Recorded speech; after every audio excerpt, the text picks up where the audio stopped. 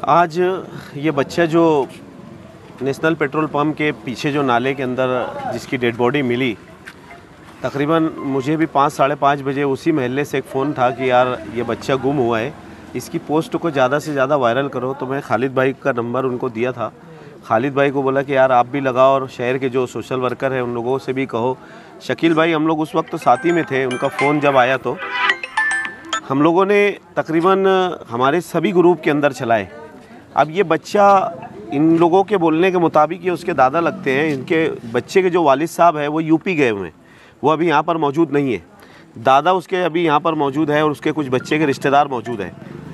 बच्चा वहाँ से जब घर से लापता हुआ लापता होने के बाद शकील भाई ने जाकर देखा हमने शकील भाई को स्पॉट पे भेजा था। इनका बोलना है कि यार वहाँ पे बहुत कम पानी है मतलब घुटने इतना पानी होगा या ज़्यादा हुआ तो दो से तीन फीट कमर इतना पानी होगा।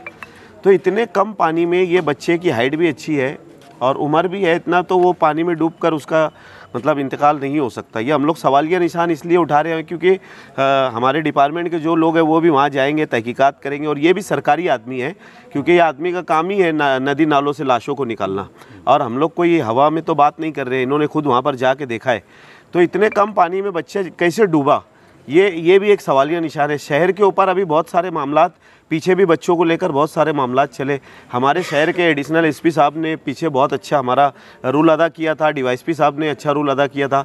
और सभी डिपार्टमेंट के मतलब हर पुलिस स्टेशन के पीआई साहब भी अच्छा कर रहे हैं कि ज़्यादा से ज़्यादा जो भी बच्चों के मामला आ रहे हो तो हम लोग अगर उन लोगों को कॉल करते तो वो एकदम गंभीरता से हमारे बोलने के मुताबिक वो एकदम फ़ौरन एक्शन लेके काम शुरू कर रहे हैं। लेकिन ये बच्चा चार बजे से लापता हुआ इन लोगों ने जाके शायद कंप्लेन वगैरह भी की और इन लोगों ने बताया सोशल वर्करों को भी बोला, इतने कम वक्त में बच्चा वहाँ पर डूब कर मरना बोले तो ये एकदम, और दिन का टाइम है, उजाले का टाइम है, चार बजे गया था, और मिला कब वो ऐशा के फ़ौर बाद मिला। तो वक्त बहुत कम है तो हम लोग तो यहाँ पर मौजूद है अभी, अगर घर वाले उनके रहते तो अभी हम लोग डॉक्टरों से बात करके पीएम वगैरह करवाते थे, लेकिन हम लोगों का खुद ऐसा मुतालबा है कि अब पुलिस ने ज़्यादा जाँच करके इसकी सीसीटीवी फुटेज के ज़रिए बोलो या और भी वहाँ पे जो लोग हैं उन लोगों से पूछताछ करके बोलो। ये सब करके पुलिस ने अच्छी से पब्लिक के सामने ये सब चीज़ें लाना चाहिए क्योंकि शहर हमारा एकदम हसास शहर है। कुछ थोड़ी भी बात होती है बच्चों के ताल्लुक से तो पूरे माँ बाप डर जाते हैं। तो हम लोग नहीं चाहते कि यार माँ बाप के ऊपर कोई ऐसे मामला आए और ज़्यादा से ज़्यादा लोगों के अंदर जो डर का माहौल है वो दूर करे पुलिस प्रशासन से। हमारी यही गुजारिश है। शुक्रिया। आज बरोज़ बुध। तकरीबन दो से ढाई बजे की टाइम नेशनल पेट्रोल पंप के पीछे हमीदिया मस्जिद और नमर मस्जिद है। वहाँ पे एक बच्चा गुमशुदा था।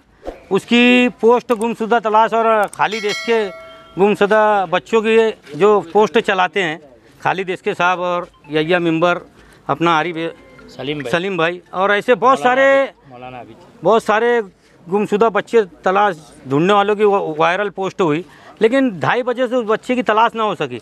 रात को कुछ लोगों ने कहा कि वो बच्चा एक आदमी के साथ ये नाले तरफ़ दिखाई दिया। तो कुछ लोग, महल्ले के लोग जाकर वहाँ पर तलाश किए। तो वो नाले में जिया नामी शख्स ने उस बच्चे को निकाला। तकरीबन मेरा बोलना ये है कि उस नाले में दो से तीन फीट पानी है। तो बच्चा, मेरा सवाल है कि बच्चा डूबा कैसे दो से तीन फीट पानी में? या तो बच्चे के साथ कोई हादसा पेश आया होगा, या तो बच्चा खेलते हुए गिर भी गया होगा, लेकिन दो से तीन फीट पानी में बच्चा डूबा कैसे? मेरा पुलिस प्रशासन से यही बोलना है कि उस एरिए में बहुत सारे कारखाने के सीसीटीवी कैमरे लगे हुए हैं। तो वहाँ पर पुलिस प्रशासन ने पूरे कैमरों को चेक करना और बच्चा किस तरीके से वहाँ से ढाई से तीन बजे के बाद से वहाँ से नाले तक कैसे पहुँचा, किस वजह से पहुँचा, किसके साथ पहुँचा ये पुलिस का काम है तलाश करना, क्योंकि मैंने जब मुझे फ़ोन आया शफीक भाई एंटी करप्शन का, कि आवाल नेशनल पेट्रोल पंप के पीछे आवाली नाले में एक लड़का डूबा है। तो मैं उसी वक्त फ़ौर मौके वारदात पे पहुँचा। उस वक्त उस बच्चे को जिया ने निकाल कर एंबुलेंस में रख रहा था। फिर भी मैंने वो आवाली नाले का जायज़ा लिया। मैंने नाले में जाकर देखा कि दो से तीन फीट पानी है। जब दो से तीन फीट पानी है तो पाँच से छः साल बच्चा उसमें डूबा कैसे? और वहाँ तो बच्चा स्विमिंग और नहाने के लिए नहीं गया था क्योंकि बच्चे ने पूरा कपड़ा पहना हुआ है। तो कहीं ना कहीं सवालिया निशान है कि बच्चा वहाँ गया कैसे और बच्चा दो तीन फीट पानी में डूबा कैसे? सबसे मेन बात ये है। तो इसलिए हमने पुलिस प्रशासन से खसूसी रिक्वेस्ट की है कि वहाँ के जितने भी कैमरे हैं कारखाने के घर के वहाँ उन, उनको तलाश किया जाए और किस वजह से बच्चा डूबा उसको मालूम शहरियान को होना चाहिए। क्योंकि हमारे शहर में अभी देखा गया है कुछ दिन पहले बच्चों के साथ ऐसे कुछ हादसा हुए हैं।